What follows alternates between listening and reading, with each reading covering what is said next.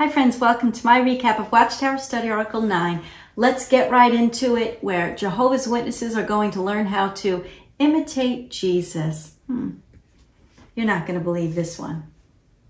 Here it is, imitate Jesus by serving others. It's taken from Acts 20, verse 35. There is more happiness in giving than there is in receiving. Notice the preview. In this article, we will consider ways in which we can imitate Jesus' example. We'll also consider how imitating Jesus' self-sacrificing attitude will bring us long-lasting benefits. That's a little too much for me. They're trying to imitate Jesus' self-sacrificing attitude. He sacrificed himself on the altar for the sins of mankind. What is Watchtower implying here? Let's just keep going, friends. See what they have to say.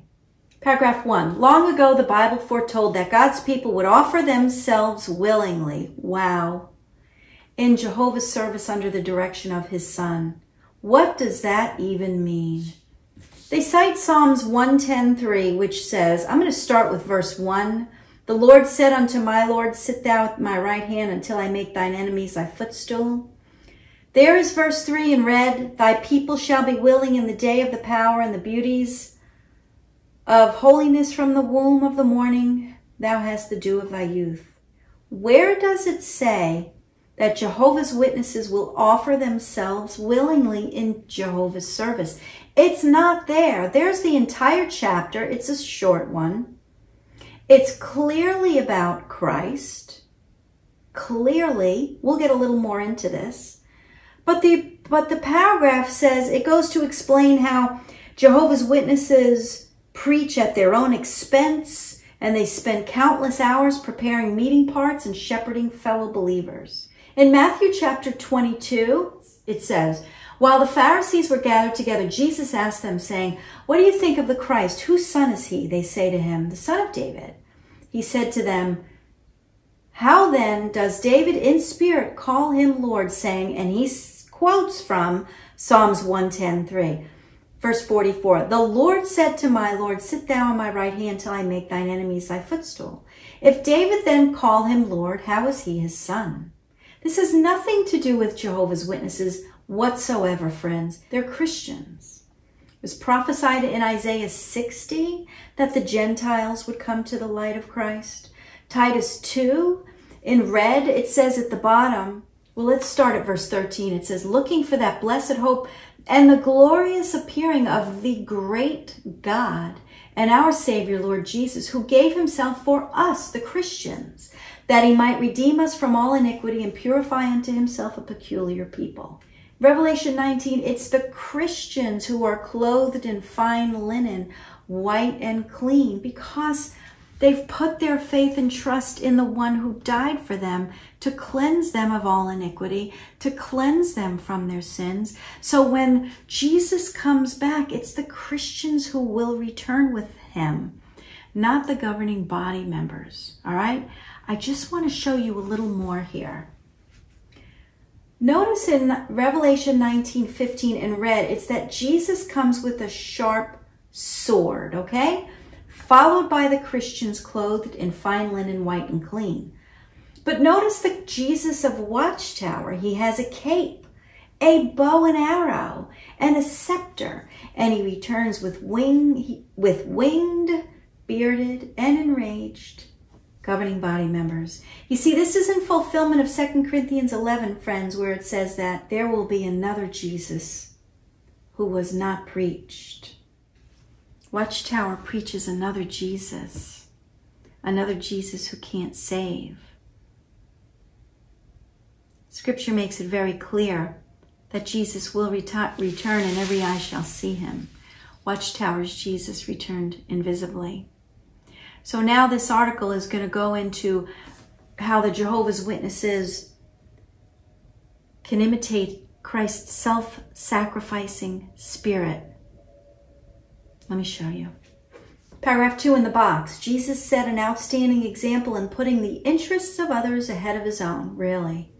We are trying our best to follow his footsteps. Steps. All right. Romans 15, 1 through 3. There it is, but let me read to you verse 3 in bold. For even Christ pleased not himself, but as it is written, the reproaches of them that reproached thee fell on me. Witnesses are trying to follow in the footsteps of Jesus, but they cite verses about his crucifixion, about his death, about his dying for the people. I could see if they were citing scriptures about the love of Christ. Romans 15:3 talks about how he took on the sins of the world when he died. This is a little alarming to me. Paragraph 3. In this article, we will review some of the sacrifices that Jesus made to serve others, and we'll consider how we can imitate his example. He died for them by taking on their sins, and they want to follow in his footsteps. Paragraph 4. Jesus gave of himself even when he was tired. Notice in the box, he not only healed them, but also delivered one of the most motivating public discourses of all time the Sermon on the Mount. All right, so they don't go into what Jesus did. He cast out unclean spirits, he rose, he resurrected people, but they talk about how he did this while he was tired. And then they go into paragraph five, how family heads are imitating Jesus. This whole paragraph is about how a, a family head arrives home exhausted. He wants to cancel the firm family worship.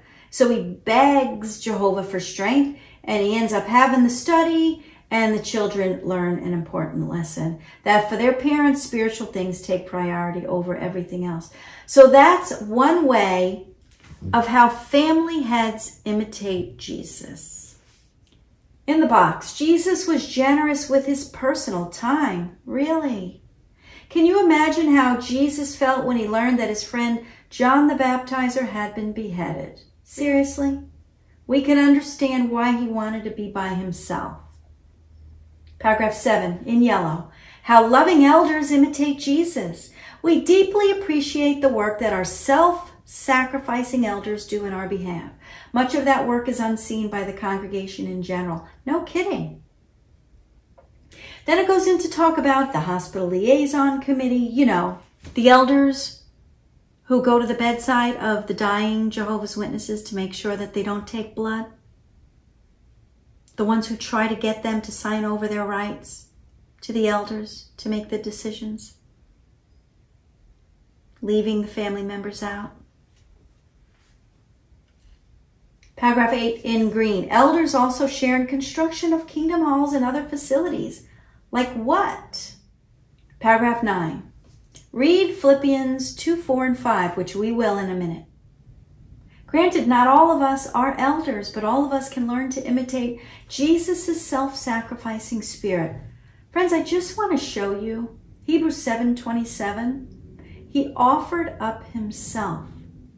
He sacrificed himself. That's what Jesus did.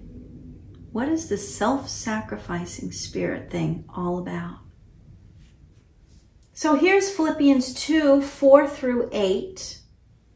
Talks about the humbleness of Jesus Christ, who in verse 6, who being in the form of God, thought it not robbery to be equal with God.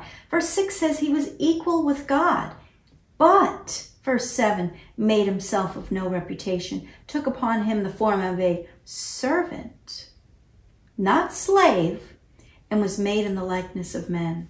Jesus Christ, who was equal to God, humbled himself, took on the form of man, a servant, the Son of Man, so that he could take on their sins. They can be wiped clean, having their robes washed in the blood of the Lamb. That's what this is talking about. And witnesses are going to imitate that. Shameful and it's blasphemous. Paragraph 10, under the subtitle, Analyze Your Attitude, in the pink box. Am I quick to offer my help when there is a need for volunteers to clean a convention site or to maintain the Kingdom Hall? All in the name of making personal sacrifices. Paragraph 11, pray earnestly to Jehovah. Paragraph 12 in the box, As the organization keeps growing in size, we need more young brothers to help us look after Jehovah's people. When I was in, the elders, they weren't young.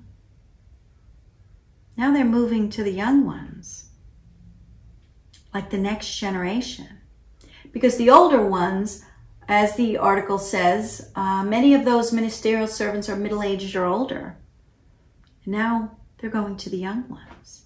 What happened to the in between? Where are they going to the young ones? That's been quite a topic lately about the youth. Paragraph 13 be alert to the needs of others. In the box, a sister falls asleep in death, leaving behind her grieving husband. Does our brother need help with meals, transportation, or household chores? Notice by the green arrow, by imitating Jesus' self sacrificing attitude, elders set an example for young ones to follow. Really, like cleaning the chairs, that was what Jesus did.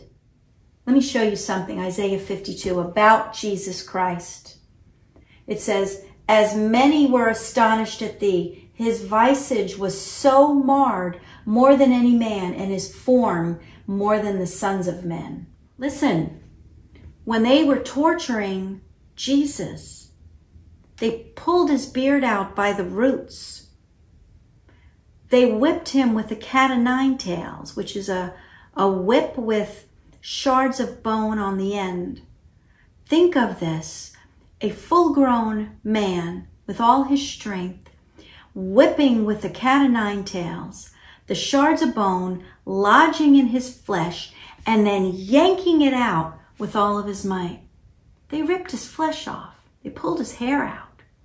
And this organization, who has not been able to get one prophecy right in the last 150 years,